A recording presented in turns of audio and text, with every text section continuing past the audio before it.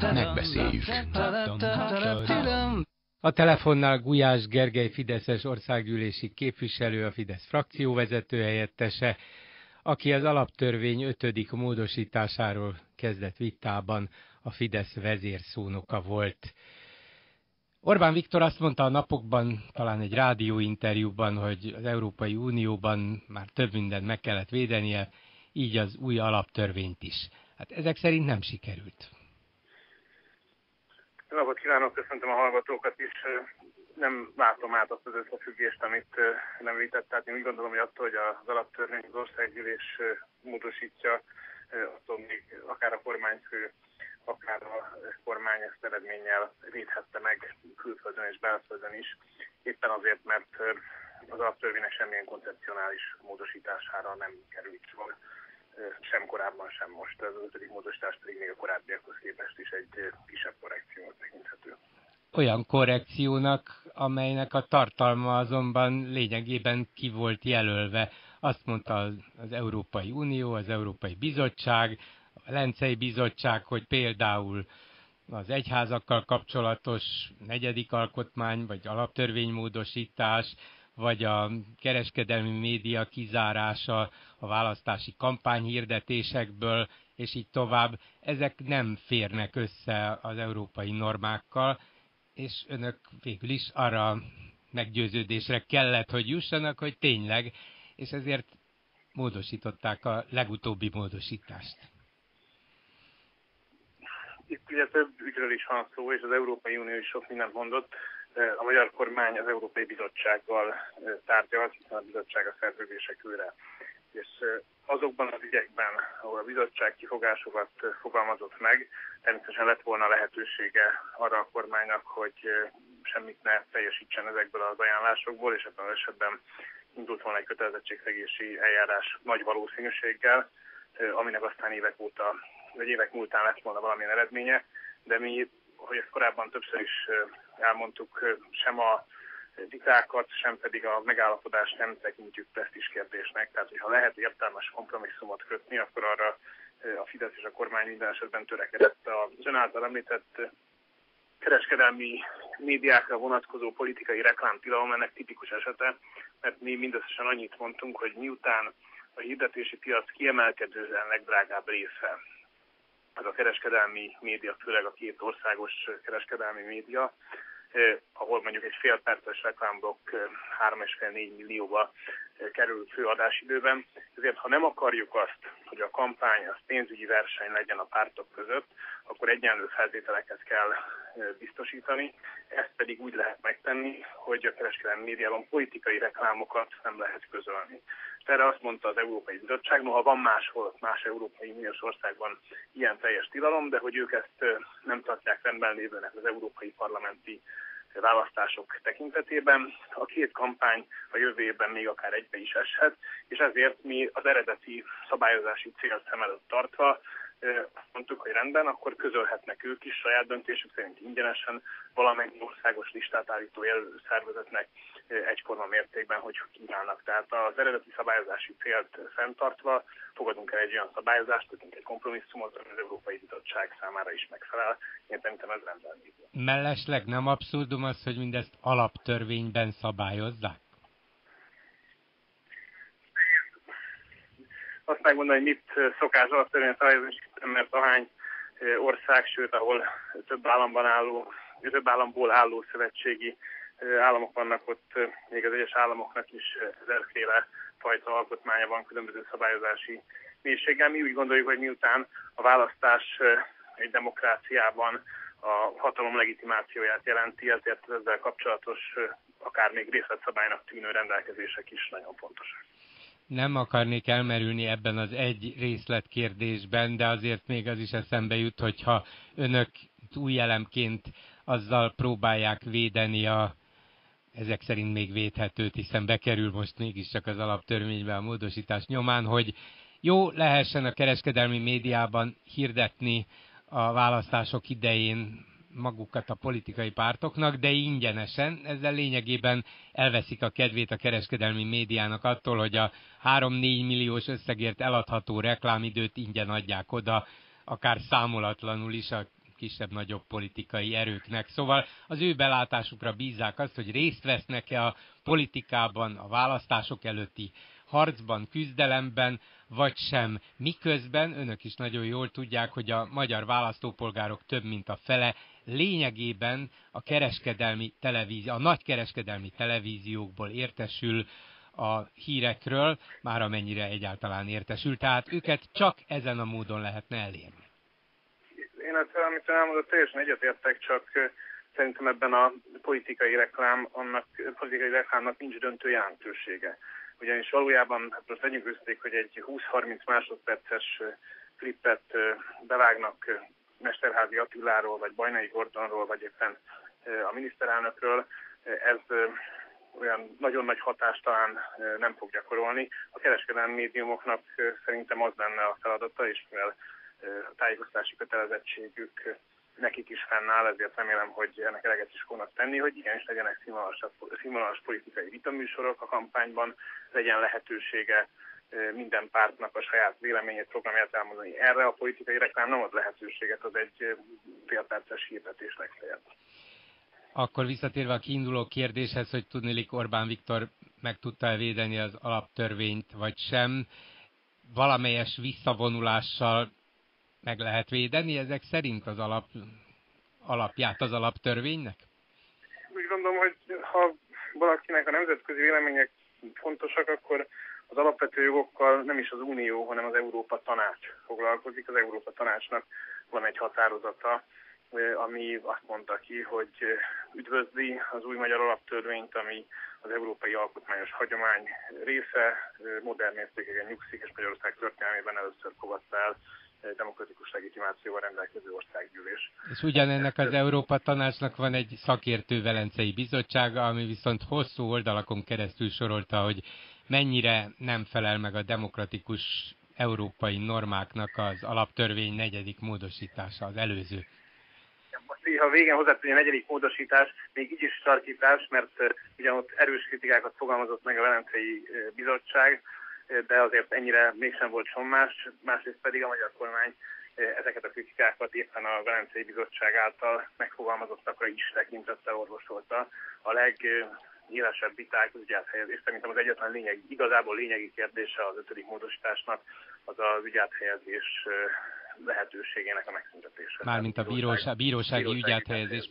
De ha jól emlékszem, ezeket is, vagy ezt is annyira védték, de annyira, Csodálom, hogy végül beadták a derekukat. Nem tudom ki mennyire védtem, mi erről sokszor beszélgettünk, talán ebben a műsorban is, és kétségkívül abszolút racionális érvek szólnak a bírósági ügyáthelyezés mellett, főleg, hogy ugye ezt már a kezdet-kezdetén ügycsoportokra korlátoztuk, ne, ne lehessen azzal a váddal élni, hogy ügyek között szemezgethet az Országos Bírói Hivatal elnöke, illetve a Bírói Tanács, ami nek erről aztán már döntenie kellett. Ráadásul az alaptörvény legeslegelső változata is mint átmeneti megoldásként gondolt el, tehát senki nem azt vitatta, hogy az a természetes, hogyha mindenki a saját illetékességi területén lakóhelye szerinti bíróságnál tudja a saját ügyét elbíráltatni.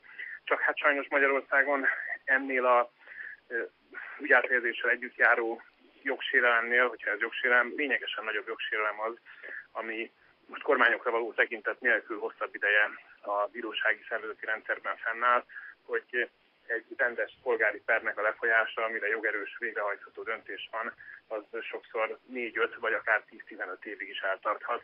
Ez a helyzet pedig tűrhetetlen és fenntarthatatlan. Erre próbált egy egyébként szintén az Európai Unió más tagállamaiban is létező megoldást kínálni átmeneti jelleggel a bírósági ügyelethelyezést. Eltekintettünk ettől, forrásokat biztosítunk az igazságszolgáltás számára, és reméljük, hogy egy új budapesti bíróság létrejöttével, új státuszok létesítésével és esetleges épületbővítéssel az ügyteher az dolgozható. Ön azt hozta fel indoknak, hogy a polgári ügyek hosszú évekig elhúzódhatnak. Ehhez képest az elmúlt két évben a nagy jelentőségű, nagy horderejű politikai, gazdasági bűncselekménynek minősített ügyeket adták át általában vidéki bíróságoknak, nem azokat a kisebb-nagyobb polgári ügyeket, amelyek valóban bosszantóan és és az Európa, e, európai bíróságok számára is elfogadhatatlanul hosszú ideig húzódnak. Sajnos igaza van, a, a büntető igazságszolgáltatásban is egészen elképesztően hosszan el tudnak húzódni az ügyek. Én azért hoztam fel a polgári pereket, mert míg a büntető eljárási törvénynek van egy olyan szabálya, hogy tárgyalás és tárgyalás között hat hónapnál több nem telhet el, mert abban az esetben az egész eljárást újra kell kezdeni. Addig a polgári jognak van ugyan hasonló szabály a polgári eljárásjognak, négy havonta ott is tárgyalni kellene, de ez szabály megsértése semmilyen szankcióval nem jár, ezért ott van, hogy tárgyalás tárgyalás között egy év telik el. Ráadásul a büntetőeljárás osztánál nagyon nagy szerepe van a rendőrség vagy speciális esetekben ügyészség által végzett nyomozás elhúzódásának. Tehát ott ugye mindig a bíróság az utolsó stáció, ahol mondjuk valaki az előzetesből kiszabadul, mert letelik a, a letartóztástól számított négy év és nincs elsőfokú ítélet, és azért aztán a bíróságokkal szembeni elégedetlenség nő az ilyen ügyekben, de hát valójában sok esetben két és fél-három év után van vádirat, és az akkor itt csak el a bíróságra. Tehát szerintem a büntető igazságszolgáltatásnál is komoly gondok vannak, de ott ügyek elhúzódásának kisebb a bíróságra jutó része, mint a polgári perekben. Akkor végezetül most eltávolodva az alaptörvény módosítástól egy figyelemre méltó nyilatkozatot szeretnék felhozni, és kérném róla a véleményét. Kövér László, a parlament elnöke tegnap az Inforádióban tett egy érdekes kijelentést. Azt mondta, hogy azt tartaná normálisnak, függetlenül attól, hogy a következő ciklusokban milyen kormányok lesznek, ha a parlament csak a legalapvetőbb garanciális szabályok megalkotására tartana igényt, és adna egy felhatalmazást négy éven keresztül a kormánynak. Erre azt gondolom, hogy egy magát demokratának tartó Fideszes is felhorkanna, de nem hallok semmiféle felhorkanást.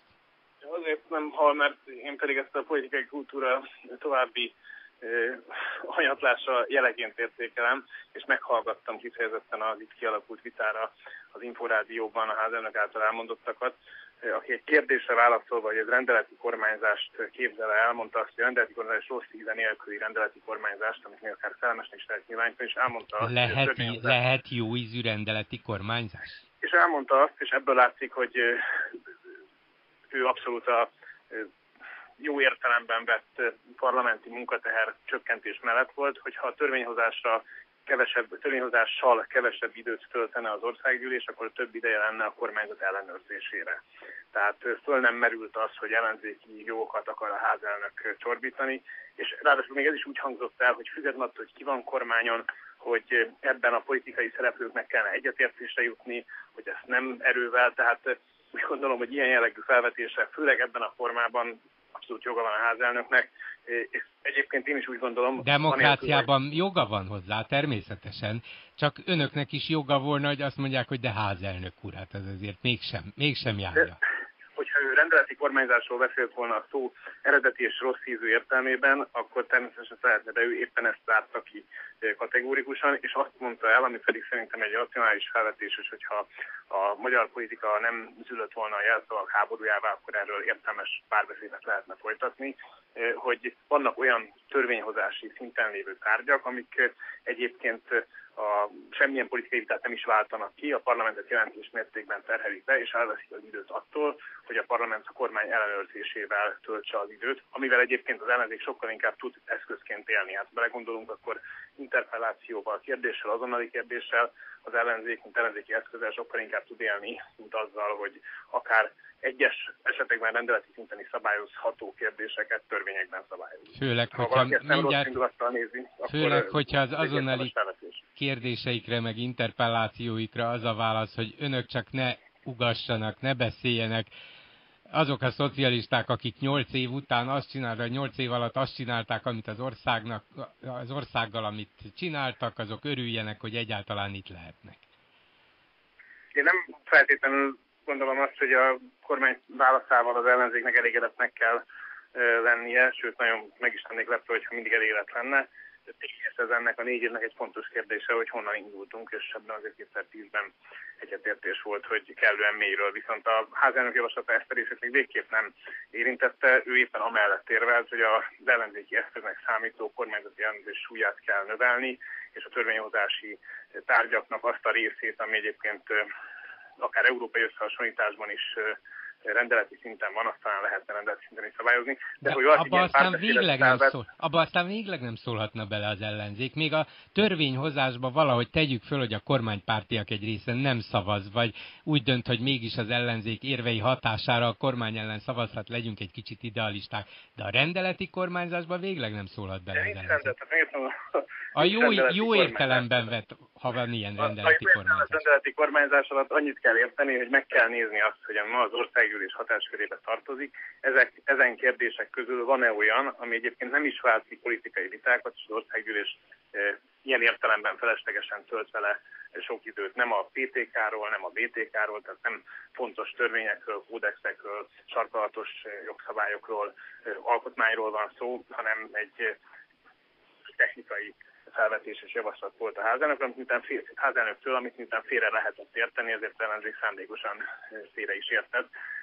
Nincs is ezzel baj, mert biztosan ellenzékben sokan tettek már hasonlót, csak ez kizárja egyébként az értelmi és értelmes vitákat, főleg, hogyha valaki nem csak a cikkeket olvassa, hanem meghallgatja ezt a beszélgetést, akkor ez egy párbeszédre való felhívás volt, és nem pedig olyan terv, hogy a kormánypárt kétharmaddal élve bármit változtatni szeretne még ebben a ciklusban, hiszen ezt a házán kifejezetten kizárta. Köszönöm szépen Gulyás Gergely, a Fidesz frakcióvezető helyettese. Viszont hallásra! Köszönöm szépen, viszont hallásra! A hírek után is lesz mit megbeszélni. Klubrádió. Tények. Vélemények.